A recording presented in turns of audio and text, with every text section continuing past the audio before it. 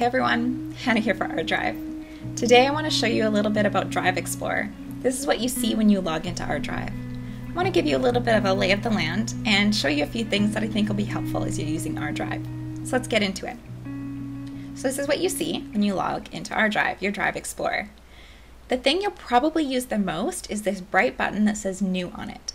If we click on that, you'll see that this is where we create a new drive, upload files into that drive, and then organize the files using folders.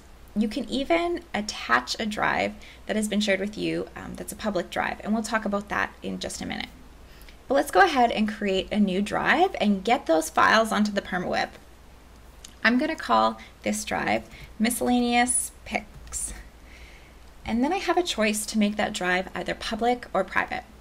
Public means that anybody with the drive link or 36 character drive ID can access that drive and download files from it. Something that we like to say at ArDrive is to not upload anything to the PermaWeb publicly that you wouldn't want to be remembered for. But these public drives are really awesome because whether somebody has an ArDrive account and password or not, they can access the files in public drives. Really cool for if you wanted to share music or um, photos or journalism. I mean, it, the possibilities are endless. So public is truly a great tool. Private means that that drive is my own, but that I have the choice to share or not any file that I want in there with anybody that I choose. And we'll show you that in a minute too. So I'm going to go ahead and make this drive private. Okay, so now you can see that miscellaneous pics shows up on my list of personal drives here. And beside it is this lock button. So that just denotes whether the drive is public or private. Obviously, private means the lock, and over here, Canadian Websites doesn't have one, and that means that it is public. If I uh, click on the drive, obviously I've got nothing in it. I can rename the drive if I feel like I ever need to, but I'm going to get back to my new button and get some files up on that PermaWeb. So I'll choose this file here, which is uh, one of the bays near my house, and um, upload it. Okay, so now ArDrive is going to tell me the size of the file. And remember that this is important because we're paying for how big the file is and paying for it once and storing it for forever. So this works out to about 5 cents US. I'm going to click upload and it might just take a second or two to get it on um, because this is permanent file storage. Awesome. So here is my picture. Now, when I click on it, a bunch of actions are going to show up uh, over the top right over here. You can see that now I can download that file, I can share it, I can rename it, and I can move it. So let's rename it because this name that my phone gave it is not super helpful. I'm gonna go up here and click rename and I'll call it uh, Caddy Bay and rename it. Now that I've got it, its fresh spick and span name, I would like to share that file with a friend.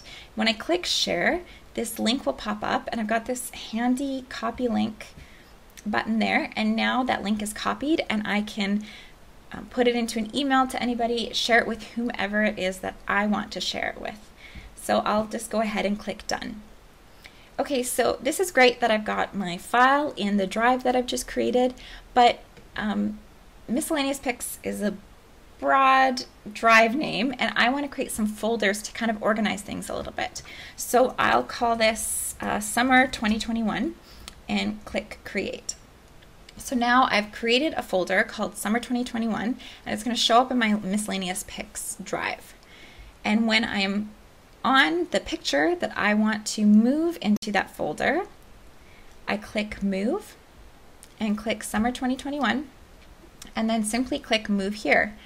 And as simple as that, I've created a drive I've uploaded files into that drive and I've organized them within my drive. And it is that simple to get your files organized and on the PermaWeb. So I told you that I would show you how to attach a public drive. If you were given a drive link, you can click on that link and as I said, anybody, whether they have an ArDrive account or not, can access that drive and the files within it. If you're logged into your ArDrive, then when you click on that link, the, that drive will automatically show up down here in your shared drives. However, if you were given uh, that 36 character link ID, drive ID, then you can click attach drive and you can paste the drive ID in there. The name that was given to that drive by its creator will show up here. And I can share this drive with others. I can also share the files with others. I can download the files and I can even preview the files. All right, so this is the heart and soul of ArDrive is being able to create these drives, these containers that house your files and store them permanently, to be able to organize them how best makes sense to you and to be able to share them with exactly who you want to share them with.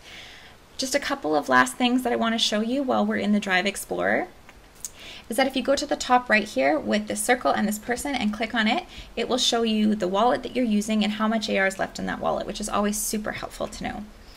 Also, if you go to the bottom right and click on this um, help circle, it will redirect you to the help page on ArDrive site. I want to point out that if you click on this word knowledge base, it's going to take you to almost like an owner's manual for ArDrive. And I really highly recommend that you check this out. It's super easy to navigate and also to, to read, and I found it super helpful. So this is called the ArDrive knowledge base. And on the left-hand side is going to kind of give you the table of contents for this user manual.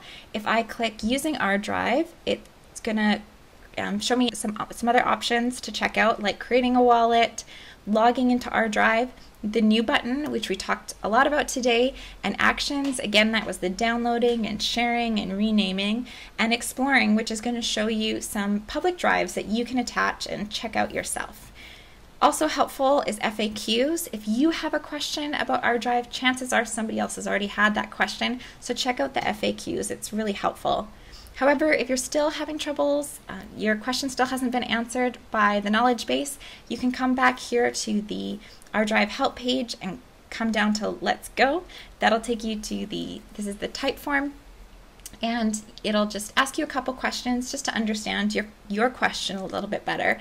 And then someone from the ArDrive team will help you out, which is pretty cool. All right, so that's it for Drive Explorer. That's it for me today.